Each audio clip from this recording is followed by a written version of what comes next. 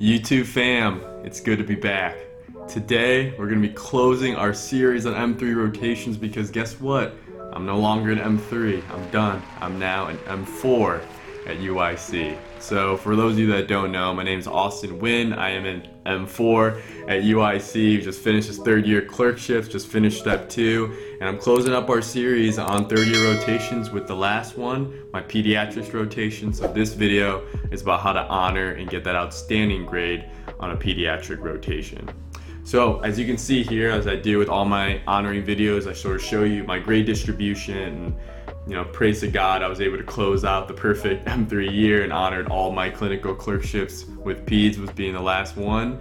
And if you see my other videos on step two, you know, basically during PEDS, I took this as like a soft dedicated. So my PEDS rotation was six weeks, and it's a pretty chill rotation. Maybe that's how it is at UIC, but I think across the country, it's generally more chill. It's not like a surgery rotation, but maybe not as chill as like a psych rotation. Um, but basically, during the six weeks, I was really doing two blocks a day of UWorld and kind of reviewing old surgery medicine questions and concepts just during the six weeks while I was doing my rotation. And then I really hit the ground running for step two with my 2.5 week dedicated period before my exam. But today I just want to really highlight the PEDS rotation. At UIC, we kind of did it in different chunks. So there was like an ED week, outpatient week, inpatient week, a mother baby week, and then a specialty service week where I was on pediatric hematology and oncology. But for this video, I'm going to really focus on just inpatient, outpatient, and then mother baby because I think universally from what I've talked to from other students across the country, those are the three kind of universal ones that you'll have on your PEDS rotation. So hopefully this will get you all started on knowing exactly what to expect, how to crush this rotation. So if you have any questions, don't forget to comment below and don't forget to subscribe too if you find these videos helpful or anything on my channel. I'd greatly appreciate it. But without further ado, let's get into it.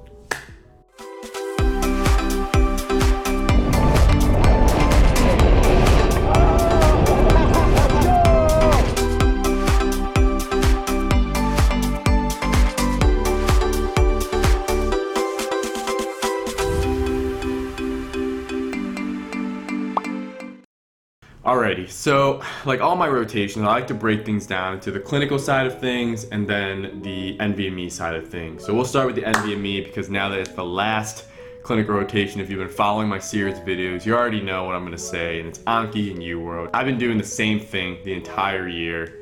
Anki, keep the cards circulating, and then UWorld. I mean, every rotation actually, some ways, it builds upon each other. So, I mean, I'm gonna make a new video soon now that I'm done with my rotations about like what the ideal rotation order I think would be, in my opinion, having done all the rotations. Um, but basically, like I said, I think no matter what order you get, it's obviously not an end all be all, but there is a certain amount of like foundation that just builds upon each other. So if you keep the Anki cards going, not only will it really help you on step two, but it helps you on subsequent shelf exams and with other material that crosses over. Like if you did medicine before pediatrics, a lot of medicine concepts really overflow into a lot of the other uh, rotation topics. But basically for this exam, I thought it was really fair. I actually got my highest score on the PEDS exam. Maybe it was because I was getting ready for step two and it was my last exam, but it went really well. And overall, I think like it's more chill of a rotation because there's only about 500 UWorld questions. Uh, I didn't do any NBMEs for this exam, but generally NBMEs are pretty helpful for these shelf exams as well. So I'd recommend that if you're, I think, willing to shell out the 20 to 25 dollars. But you can probably find uh, some offline versions too, but keep it low key. Uh, anyways, um, questions wise, I think like just really knowing like the time structure of when things gonna occur, like a volvulus in that period, usually like less than four weeks, and then um, the atresias, like duodenal atresia between the first couple of days of life, and then of course like your classic pyloric stenosis around four to six weeks for that thickening to occur. I mean that stuff is really um, important, and then obviously knowing your like primitive reflexes, and then your like growth milestones, like when should a baby start babbling or cooing and smiling and walking and saying mama dada. Like those things are going to be like the high yield stuff i think on the exams. And then just the more UWorld practice questions you do in anki you'll be in pretty good shape to do well in the exam. Let's jump over to the clinical side of things. I think this is really where you can make a big difference. And honestly everyone in pediatrics i know it's a stereotype I try not to stereotype but everyone is just so nice. Like and so generally the clinical grades from what i've seen and what i've heard are usually pretty good in pediatrics because everyone's just so nice. And if you just work hard, follow directions, and don't get at anyone's bad side, which is pretty hard to do that in pediatrics again, but um, just keep working hard. And I mean, babies are cute and you get to see and work with kiddos and you know i think in a lot of specialties you get to work with kiddos too so they're good skills to have and good bedside manner. So speaking of bedside manner let's kind of start with that. When you're in the room with a kid a minor right you're going to usually have a guardian or a parent in the room so make sure you're addressing the parents as well as the child that you explain everything and just be vocal what you're going to do. So i'm going to you know examine your ear here. I'm going to pull back on this so that the parents know what you're doing and also the kid knows what to expect. I mean this is simple stuff stuff that you've done throughout other rotations, I'm sure. So just, you know, kind of have that um, framework in mind. Now I'm going to go into more specific advice for different services. So we'll start when the babies are really small, and that's in mother babies. So these babies are literally just born. They might be born like an hour ago, 30 minutes ago, or 12 hours ago, something like that. And the big thing with mother baby is that there's not much to do, honestly, for the exams. A lot of it is based on like objective findings of how the baby is doing. Like, what's going on in terms of like their weights are they feeding properly uh, have they had wet diapers yet have they had any bowel movements and you know basically that was kind of like my experience with this i think the most um, best piece of advice I can have for mother babies that you really need to know your presentation style really well. So I have it kind of written down here because I honestly don't remember it super well, but there's a lot of templates that I was using at the time, and I can leave this in the description. But generally, before like you introduce um, anything for the baby. If it's a new patient, a new baby, you should really give a little bit of a background of what was going on. And, you know, a short little snippet you can use is as follows. It's like, you should say, this is a, you know, 12 hour old baby boy born to a 27 year old G2 P2 002 at 37 weeks and two days via a um, sterile or spontaneous vaginal delivery Pregnancy was complicated by preeclampsia without severe features. APGARs were 8 and 9 at 1 and 5 minutes, respectively. Maternal labs were Hep B negative, RPR negative, HIV negative, rubella negative. Pregnancy was complicated by GBS, but adequately treated with penicillin. Rupture of membranes was 10 hours. Maternal blood type was A positive, baby is A positive, Coombs negative. Just like a give a background like that, where all the information is very succinct and then go into like what's going on for baby. You always want to focus, like I said, on objective measures. So right now, what's the baby's weight? Birth weight was this in this percentile. Current weight is now this. So the current weight is okay in the first couple days, right? To actually go down, that's actually normal, but not by too much. Maybe by, by five or six percent. That's that's fine.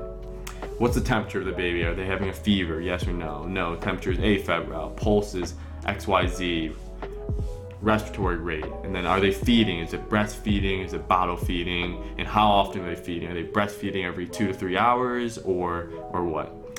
And then within the first 24 hours you need one wet diaper and one bowel movement. So make sure you keep an eye out on that. Also make sure you know the different ranges for the pulse respiratory rate and the heart rate. I mean, it's actually different for kids and especially newborns. So remember, kids actually have lower blood pressures and higher uh, heart rates than normal adults. So make sure you really review those guidelines and know like what's normal and what's abnormal. At one day of age, 24 hours, you'll do a few labs. You're going to do a transcutaneous bilirubin, make sure that they're not at risk of jaundice or kernicterus.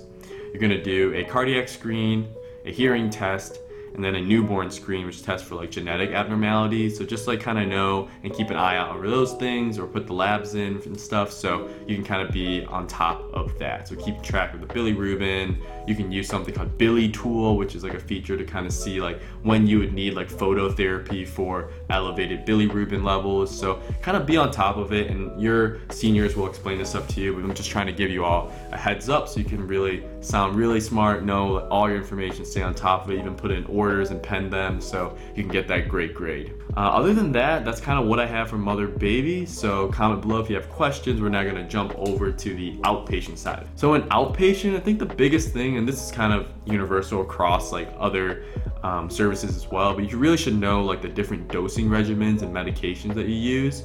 So in kids, it's important to know that a lot of it's weight based, so you're not going to give the same dose in an adult that you do in a kid. And a lot of times, kids can't tolerate certain types of medicines, so they'll be doing more like syrups and stuff. So make sure you really look on up to date and know your dosages and those medication regimens well. And then honestly, outpatient was pretty slow and it was like pretty like low stakes. You know, a lot of it was common pathologies like respiratory stuff, asthma exacerbations, um, and then the big thing was like infections and just sicknesses too. A lot of sick kids. Kids love to get sick. It's normal. It's part of growing up and building those antibodies. So really know your examination uh, skills well for that. And like I was talking earlier, again, make sure you really talk to the patient and also talk to the parents. Keep everyone on the same page. Have good bedside manner and kind of know what things to look for. You know, like acute otitis media, for example, super common kids. Kind of know how to look inside someone's ear. Tell them you're gonna look in their ear, gonna pull their ear back, you're gonna look inside. Look for that bulging tympanic membrane, like that decreased, you know, mobility, the more rigidity there, and then know the dosages of amoxicillin to treat it. You know, things like that I think can help you stand out and just make sure you get that information and present it in a very succinct way. Now, in regards to presentations and outpatient, inpatient, it's really similar like internal medicine. But for those of you who maybe have not done internal medicine, you know, if it's like a new patient, you do the whole HPI. You know, make sure you go over everything family history, social history, allergies, medications, all that stuff. And then once you already know the patient, you can just do soap note style. So kind of giving updates of what happened over the past 24 hours. Now I'm going to close this video by just going over the inpatient side of things. And this is obviously for more patients that are acutely sick, they're staying overnight in the hospital. You'll have earlier rounds and there'll be some more chart checking to do, but this was honestly not too bad as well. It's a lot of front heavy uh, morning stuff during the day because you're doing a lot of rounds and table rounds and teaching, but at the end of the day, once you finish your notes, um, you're pretty much done and good to go, uh, which is really nice and good for studying and doing other stuff.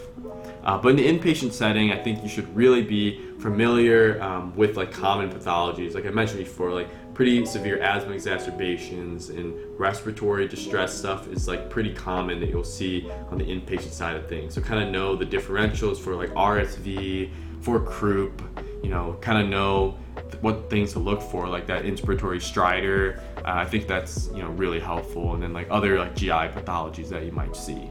Overall, I think like peds is really nice just because a lot of the kids they don't have like chronic medical illnesses. They're not on 12 medications like you'll see on internal medicine. So honestly the notes and the presentations are a lot more clean and a lot more simple. So overall i think like this is going to be a really enjoyable rotation for you all. You get to learn a lot about testing different reflexes on kids and seeing the Moro reflex and just seeing you know the development over time. And make sure you know like all the stuff i mentioned earlier like the growth stages, the vaccination schedules, and know when people get which vaccines. Like you'll see that throughout outpatient and inpatient side of things. You're reviewing stuff, especially in the day and age of COVID vaccines and such. Just make sure you stay on top of all those things. And honestly, I know you're gonna do great. So, anyways, I hope this video was helpful. Have a great rest of your week. Don't forget to subscribe.